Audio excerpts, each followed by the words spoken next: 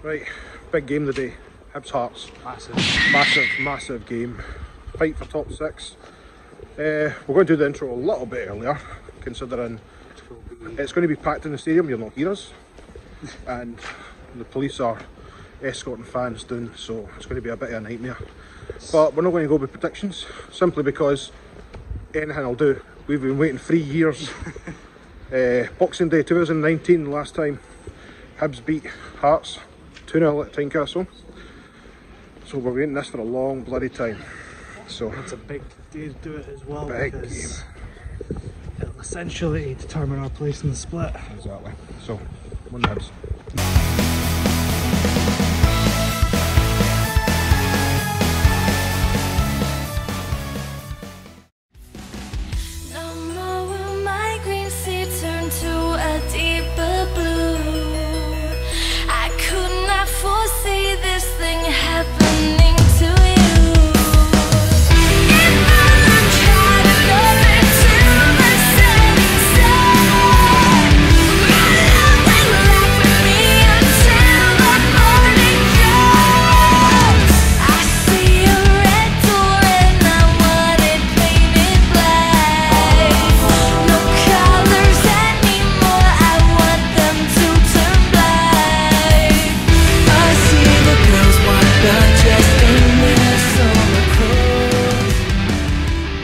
Welcome. Limbs went everywhere. Right. Limbs, bodies. Aye. Well, Hibs won 1 0, if you haven't guessed by the video and the smiles on our faces. Uh, I'll be honest, the game's a bit of a hazy situation for me because Keep in mind that this is pure reactions. Yes, this is So- pure reaction straight after the game, so I think the emotions have taken over and we can't really remember much, but we'll try and get through some of it. Yeah. Um, the game started, and I thought for the minute go to 90th minute, I don't think there was a team that wanted it more than us. we were all over them. all over them. Then, even when they tried to push out, we were straight on them, closing down the spaces, getting the ball. Now, Didn't get me wrong, there was only a handful of chances in the first half, Yeah. but it was the manner and how It we were was, playing. it was a very tight first half, Yeah. and even though not a lot happened, it was a very tense situation to watch at the time. I think it's just it's the fact that we showed the heart that we did today. That's what got me. It's like finally, you know what I mean? And, And what a time of day to take. What a time. Uh, we were just on the train there, and respect to a Hearts fan, a young boy.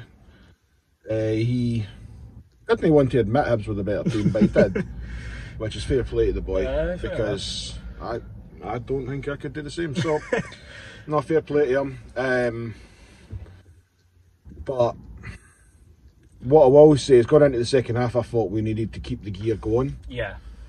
um, and we were getting more and more chances in the second half.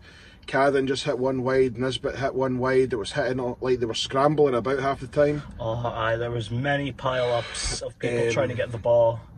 But before we go into the goal, I would like for somebody, not being a biased Hearts fan, let's just try and get like a wee bit of sensibility here. There was two challenges in that first half. For love nor money, can I understand how both of them won the yellow cards, but the referee didn't even give the second one. The first one was Shankland rugby tackled Marshall, so he couldn't start a like, counter attack with Youan. How the hell in God's green earth is that not a yellow card? Especially with how protected, as people say, goalkeepers are, you'd think that beaten, well, at, at, at the same time it's beaten, but you'd think mm. you'd be on that. And that second one when Youan was he beat well he had Atkin in his back pocket all day. Um, He was forced to drag him down to slow aye, him down. literally dragged him down by the shirt and beat and just play on. Now I've said to Sean during the match, I says I'm all for referees letting things go and letting the game play. All for it. It's a physical game. That's how it should be. But there's certain tackles that you go, right, come on. Yeah. Like shirt pulling, like I said, like I said in the game, shirt pulling is a universal foul in any sport. It's just Maybe except hockey, I mean, Ugh. if they're legal to punch each other I at times. think- But the point still stands. Most sports will say, "Don't pull the shirt." It's well, well, we were fizzing at half time for that reason only. Aye, But uh, second half starts, and we done the same thing. We kept on going at them, and I thought, great, this is what we needed. Yes. Just keep the momentum going. And uh, I'll be honest, none of us remember the goal. I can't remember the We, goal. we remember that it happened. I saw it hit the net, and then just bodies were going everywhere. I had some boy who I've never met before at the side. I was giving him big cuddles. Sean jumped on me without me being ready for it, and me and him were falling over the seats. I almost broke my fucking foot trying to protect him. So, no, Both landed on. Well, I landed on my Aye, back. yeah, he landed on his ass. I was the one that was trying to like make sure I didn't land on him. But no, see, but that's what it's about.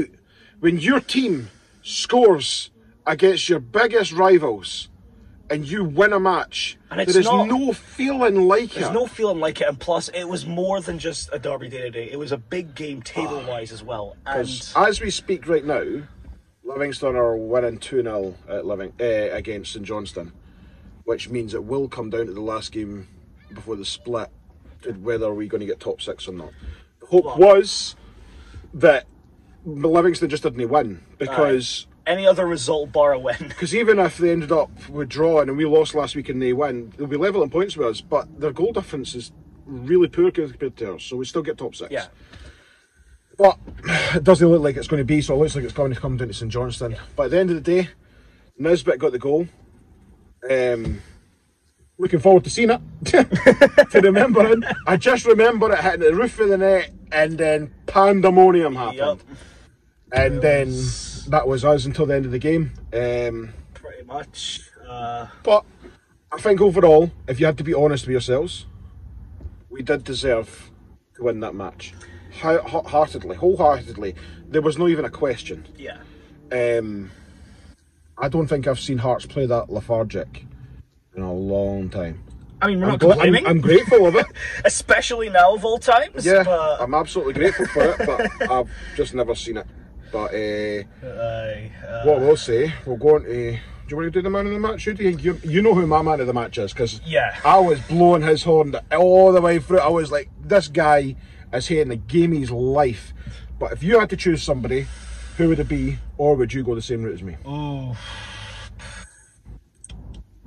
Nisbet and Youan were all over the park. Uh, Nisbet got the goal. Nisbet did get the sponsors man of the match, just to let you know. Nisbet did get the sponsors man of the Yes. match. And But this is FamTV's man of the match. It's much more prestigious. yeah, so you said it was Joe Newell, right? My pick was Joe Newell. I think for the first whistle, he was all over that pitch. He was getting in every tackle. He was not letting anybody move. For me, that has been the best Joe Newell performance in a Hibs top. Period. For me. Because the the passion that he had in that game was second to none. So, to be fair, I, you couldn't fault anybody in that match yeah, it's not like anybody. played bad. I'm not sitting here going, "Oh, he played bad, he played bad, he played bad." No, every one of them played out their skin. CJ Egan Riley, you just said Youan and Nisbet, right? Jimmy Jeggo done well, but to me, Newell blew it at the water. Blew it at the water for me. yeah. You, I think you're going with Newell as well, or Uh, it would have to be between Newell and Youan because Youan was up in the pitch. He got a few pretty good interceptions. He was always threatening up at the wing. You knew when he got the ball that something was going to happen. there's just a sense of excitement in general when Youan gets the ball. He's just something special. He's just, But um, we need to sign him up. We need to sign him up. it's, I think we will. I think you'd be absolutely stupid not to.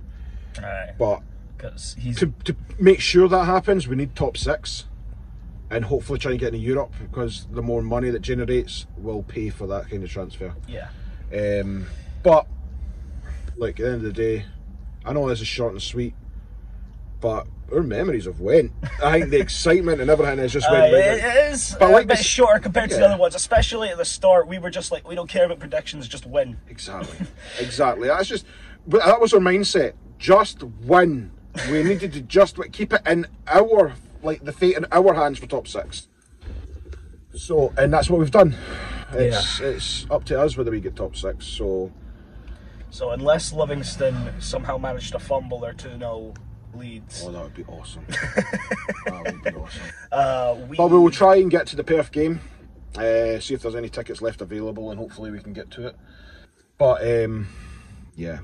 Anyway, thanks for watching, guys. Hope you enjoyed the the result. Uh, tell us in the stories if you had similar limbs going everywhere moment, uh, hugging random people who you've never met before, and I that's just that's what it is about football. That is what it is about football. it was, the Um, Block atmosphere seven was was brilliant all the way through. On the train, Hearts fans were trying to say Hibs didn't they start singing until the end of the match.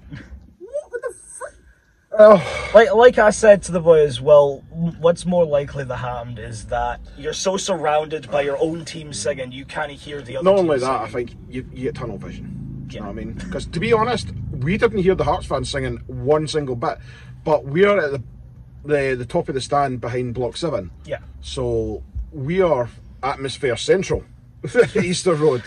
So um, anyway, yeah. Thanks for watching, guys. Hopefully we see you in Perth. If not, we'll definitely see you. Hopefully in the top six matches, and not the bottom six matches. But you never know. Anyway, guys, thanks for watching. Enjoy your Saturday. On to the next one. Next one.